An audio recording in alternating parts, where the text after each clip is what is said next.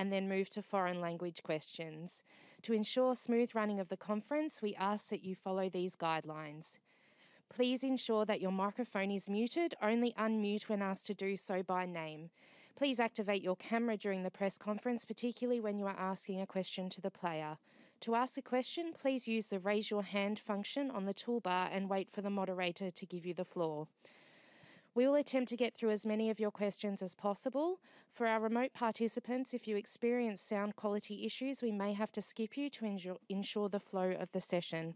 Once you have asked your question, please lower your hand and mute your microphone. Please don't ask more than one follow-up question so that everybody can have a go. Just simply put your hand up if you again if you have more questions. I'll begin today. Thank you for joining us.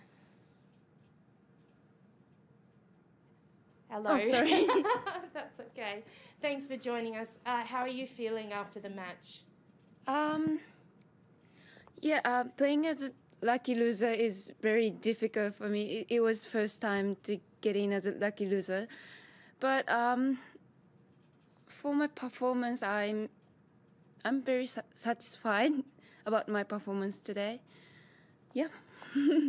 I'm That's a feeling good. fantastic attitude. Did we have some questions from online, guys? Just use the raise your hand function if you have a question. How are you planning to spend the rest of your time in Melbourne? I have doubles. I still have a doubles, so I'm gonna prepare for doubles maybe on Thursday or Wednesday. So mm-hmm. yeah. And how do you feel about playing doubles? Do you think it improves your performance as a solo player as well? Yes. Uh, yes. Also practicing えっとちょっと待って Yes, also practicing doubles is also uh, also helping me to improve my skill. Yes.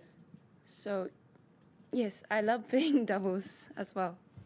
Were there any questions in Japanese from anybody?